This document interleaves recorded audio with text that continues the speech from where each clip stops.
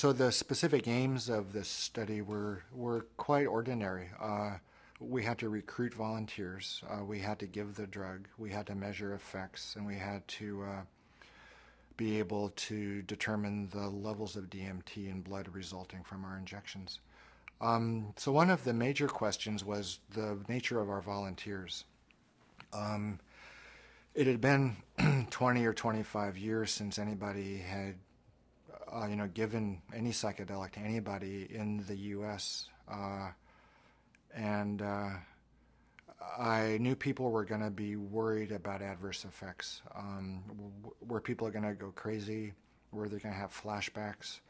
Um, were they going to begin using psychedelics and blame us?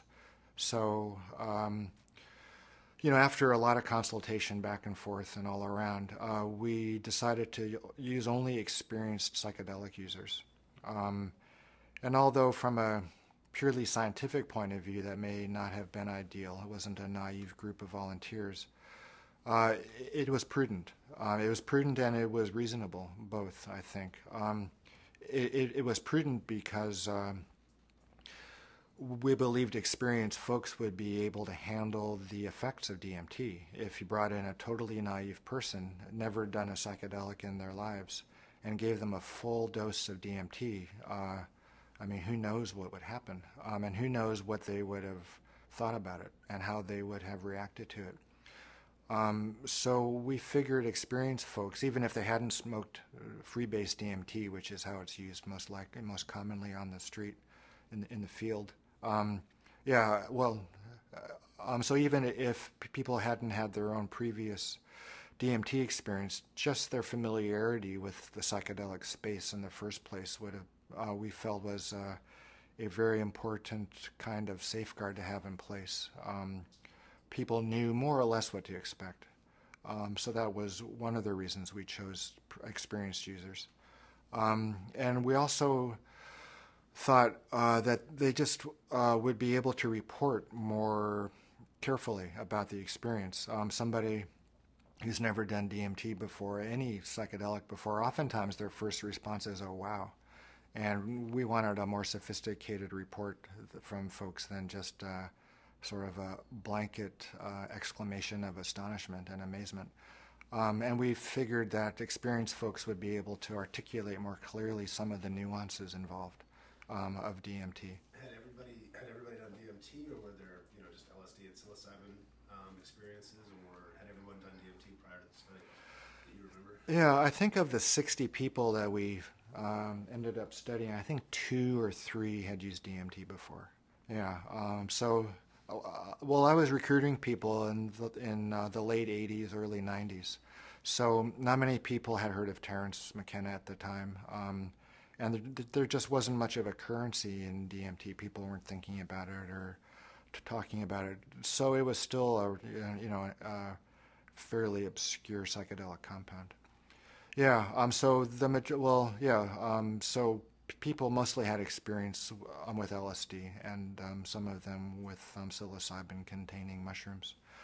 Yeah, and uh, some people had taken LSD once. Some people had taken LSD four or five hundred times. Uh, you know, so it was a pretty widespread of the amount of experience. Yeah, and um, you know it, and all because people had taken psychedelics uh, in uh, uh, um, in uh, in uh, the past wasn't a simple guarantee of them getting involved in this in the study. I, I, interviewed everybody in a preliminary sort of way before I brought them into the study, and I wanted to know that they could handle their psychedelic experiences. I didn't want them, um, you know, panicking or doing anything untoward. Uh, there was one guy I remember who, uh, you know, I asked him how far out he had been ever on psychedelic drugs, and he said, "Oh, every time I really get high, I find myself naked on the roof of my house." So I thought to myself, well, this guy's not going to be a particularly, you know, helpful volunteer if he rips off his clothes and runs down the hall. Um, yeah, and uh, you know, other people had taken psychedelics, but they really hadn't had much of an effect. and uh, I knew the DMT effect was going to be large, you know, as large or larger than anything they'd had before. So um, I remember one one man came in and I asked him how high he'd gotten on psychedelics, and uh, he said, "Well, with my eyes closed, I saw some squiggly lines." Um, so on that person didn't seem like he would be appropriate either. And uh, I was in a funny position because I said to him, uh, you know, I can't encourage you to take drugs, but if you do and you have a more intense, full-blown experience, why don't you get, you know, uh, so why don't you call me back and see if we can involve you in the study. Um, yeah, and I wanted to make certain that people were psychologically healthy too. Uh, most psychedelic users are healthy, normal people. In fact, as you know, uh, has been, you know, objectively sort of demonstrated from the UDV studies that they've done. People who use psychedelics in some ways are healthier than those um, who, or you know, a controlled population, as it were.